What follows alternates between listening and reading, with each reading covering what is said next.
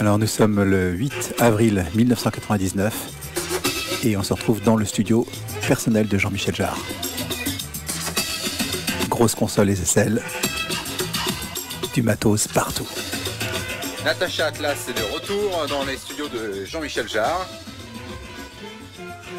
avec euh, une des parties importantes de la fabrication du morceau, la recherche de la mélodie pour Natacha.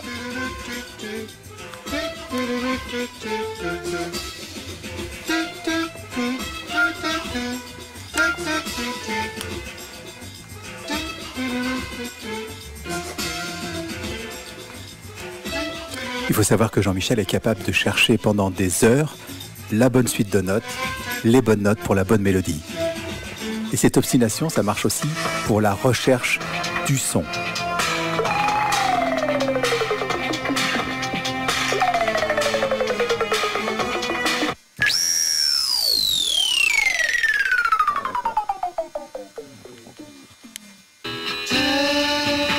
Dans l'album Métamorphose, nous avions décidé d'utiliser le vocodeur, la voix, comme un vrai instrument de musique.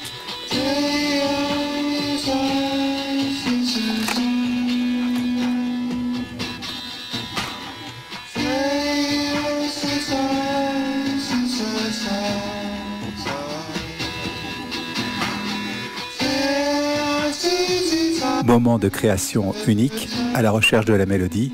On verra pour les mots plus tard.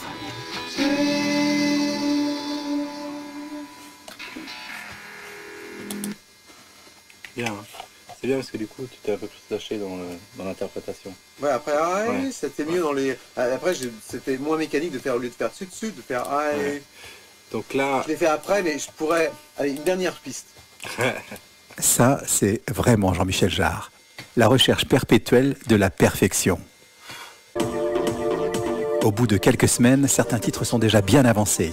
Il est temps pour Jean-Michel de rajouter sa signature sonore, avec entre autres un instrument qu'il est le seul à maîtriser, le thérémine.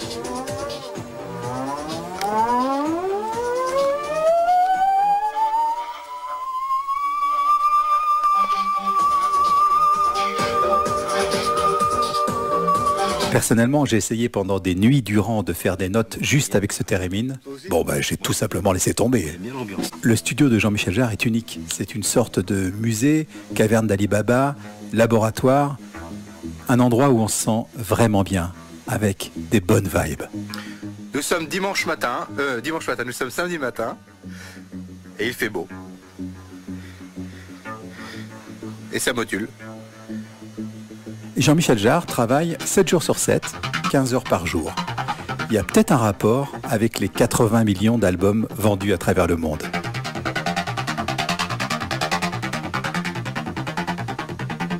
La grosse boîte noire derrière lui qui clignote, c'est une fabrication maison, une idée de Jean-Michel, le Digisequencer. Quand on ne trouve pas ses propres instruments, on les fabrique.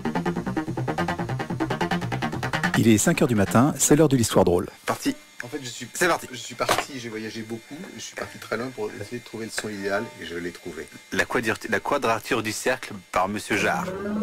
Et l'appui sur la... Ah, c'est rond. C'était on ça, commencé par le rond.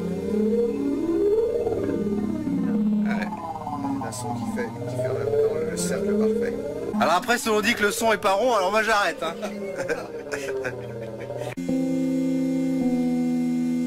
Une recherche perpétuelle de paysages sonores, d'ambiance, d'atmosphère, de sensations auditives. Et puis au détour d'une conversation, une mélodie qui tue. C'est d'avoir. euh, Tu entendais Ouais,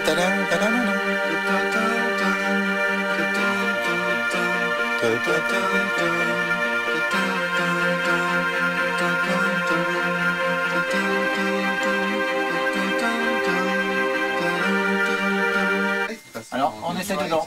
Oui. C'est parti.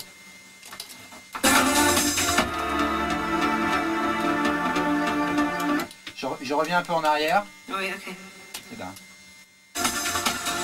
Avec Jean-Michel, j'ai voyagé, je suis allé dans plein de studios, plein de pays, et j'ai enregistré plein de gens différents. Merci Jean-Michel.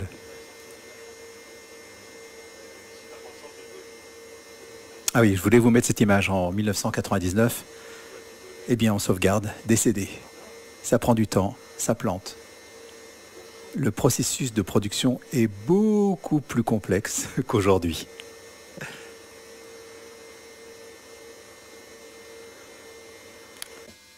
Je t'explique. Ouais. Je t'explique. Tu vas sur le papier, Ouais, tu vas comprendre. Euh, en fait, c'est les cycles de 4. Ouais, Ah, D'accord Alors, tu as le premier cycle de 4, ouais, deuxième cycle de 4. ouais. Et Troisième cycle de Ok. quatre. Alors donc, Donc, dans le premier cycle de 4, on va, on va changer le quatrième, for the widow, Ouais. for the soldier, et on va le remplacer par, dans le deuxième cycle de 4, Ouais. for the neighbor, for the unknown. d'accord. Je vais déjà faire ça, d'accord D'accord Ensuite, je te montre. D'accord. Bon, alors je vais le faire après alors.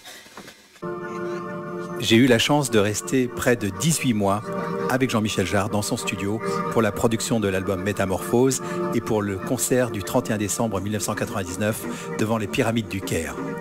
C'est une expérience incroyable.